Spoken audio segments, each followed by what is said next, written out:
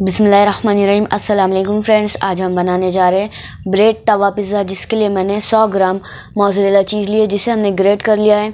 पाँच से छः ब्रेड स्लाइसेस, आप चाहे तो ब्राउन ब्रेड भी ले सकते हैं। बटर लिया है, हम इसे एक से दो चम्मच यूज़ करेंगे।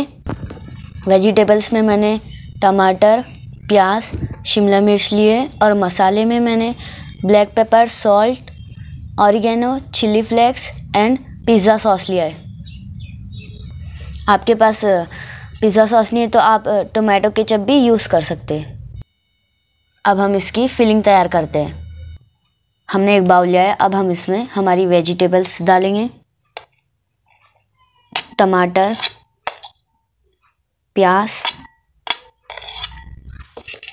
और शिमला मिर्च। मोज़रेला चीज़ डालेंगे। दो चम्मच। बाकी की चीज़ रख देंगे फिलिंग के ऊपर डालने के लिए। अब हम इसमें डालेंगे red chilli flakes oregano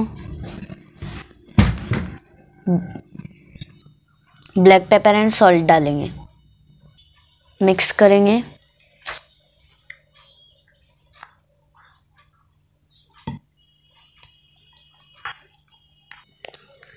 अब हम ब्रेड के ऊपर पिज़्ज़ा सॉस लगाएँगे।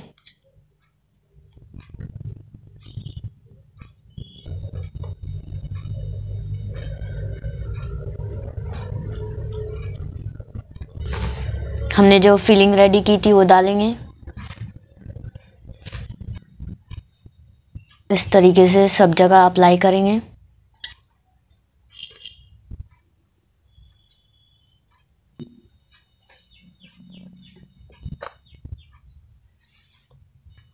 हमारा ग्रेटेड चीज़ डालेंगे। और हमें चीज़ ज़्यादा ही रखना है। चीज़ भर भर के डालिएगा आप।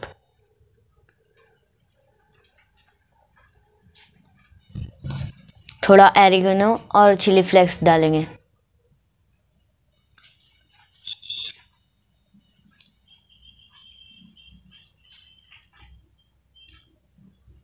ये मैंने दो चम्मच बटर डाला है। अब हम इसमें ब्रेड डालकर सेक लेंगे धीमी आँच में। ऊपर से लीड लगा देंगे। ये हमारा ब्रेड पिज़्ज़ा रेडी है। अब हम इसे एक प्लेट में निकाल लेंगे।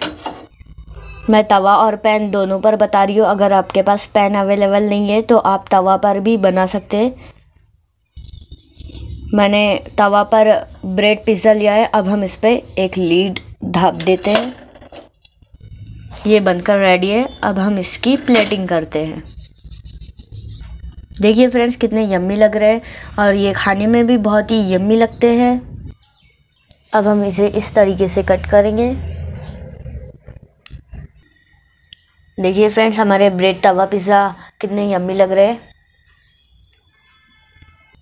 आप ज़रूर घर में ट्राई करें। इनशाला बच्चे बहुत शौक से खाएँगे इसे।